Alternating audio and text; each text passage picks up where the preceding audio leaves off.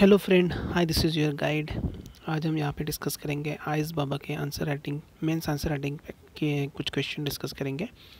ये day one का कुछ जी एस वन के क्वेश्चन है। इसमें हमने एक से लेकर क्वेश्चन नंबर फाइव तक डिस्कस किया है क्वेश्चन नंबर टू है। मेरे कुछ वीडियोस इसी चैनल पर अपलोड किए हैं।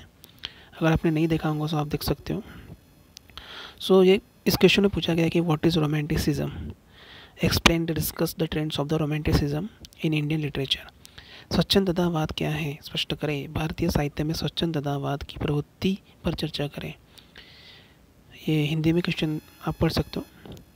इसमें हम फिर से इंट्रोडक्शन बॉडी और कंक्लूजन इसी फॉर्मेट में रहेगा। वर्ड लिमिट आप according to your marks and answer marks को ध्यान में रखते हुए आप वर्ड लिमिट्स डिसाइड कर सकते हो। इंट्रोडक्शन में यहाँ पे बोला गया है कि romanticism a culture movement which sought to develop a particular form of nationalist sentiment romantic artist and poets generally criticise the glorification of reason and science are focus and focus instead of instead on emotions intuitions and mystical feelings their effort was to create a sense of share collective heritage a common cultural past as the basis of nation बहुत अच्छा introduction दिया है। ये points आप अपने answer writing में डाल सकते हो। ये आयस बाबा का आइडियल मॉडल आंसर है। इसमें से आप कुछ पॉइंट्स रिमूव कर सकते हो ऐड कर सकते हो। आप अपने मन से भी लिख सकते हो।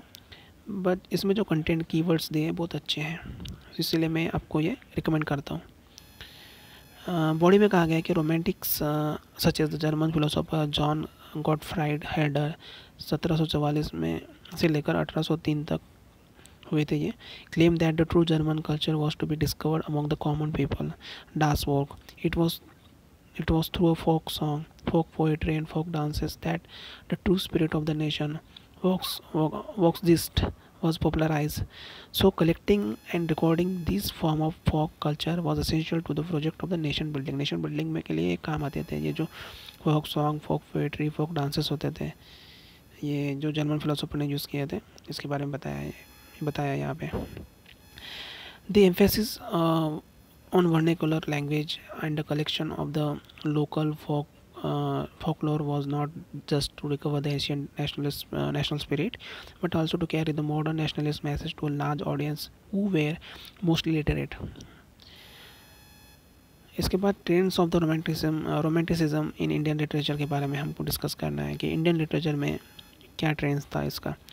The trend of the Indian romanticism shared in the in by three great forces influence the destiny of the modern Indian literature this forces were Shri Aurobindo's 1872 से लेकर 1950 search for the divine in man Tagore's quest of the beautiful in nature and man and Mahatma Gandhi's experiment with truth and non violence यहाँ पे बताया गया कि Indian romanticism uh, कब मतलब अपने चरण सीमा पर था।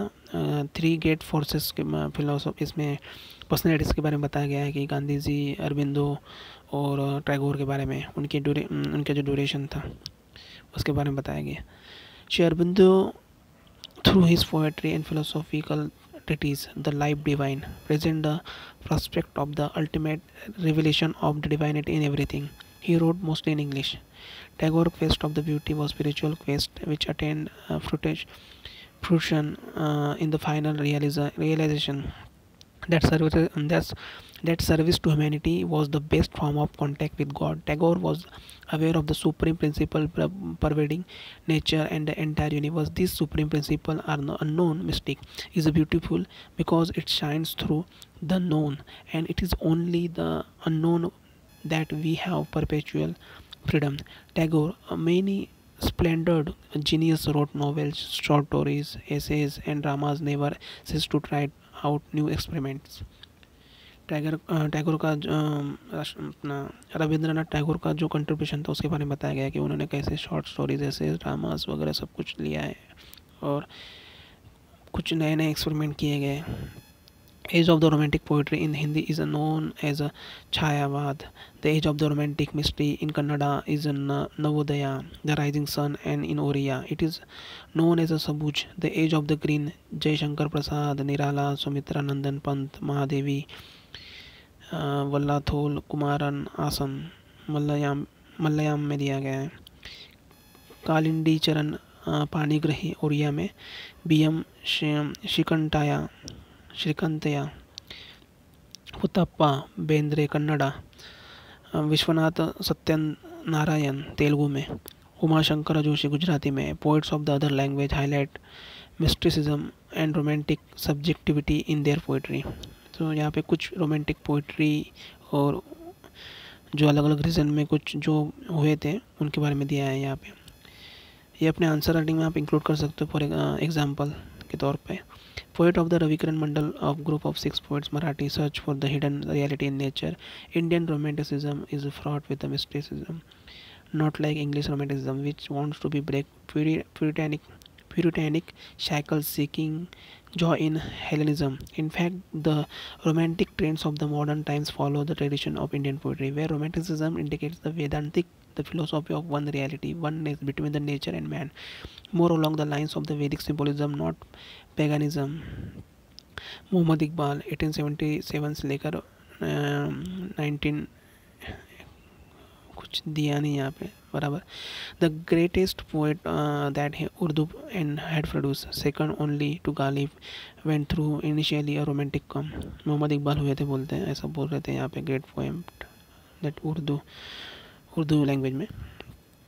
आफ्टर गालिब के बाद में। His best collection of Urdu poem is Bang e-Dara उनकी कुछ कलेक्शन थी nineteen twenty four his quest for the pan Islamism did not deter him in the his concern for humanity at large so ये body में पूरा दिया गया है कि कौन कौन से किसने किसने यहाँ पे कंट्रीब्यूशन किया था।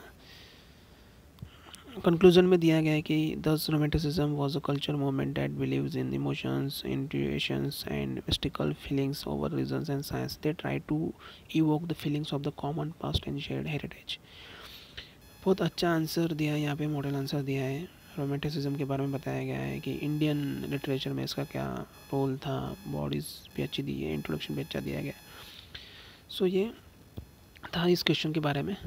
मेरे चैनल को सब्सक्राइब कीजिए लाइक कीजिए कमेंट कीजिए शेयर कीजिए। Thank you thank you so much good night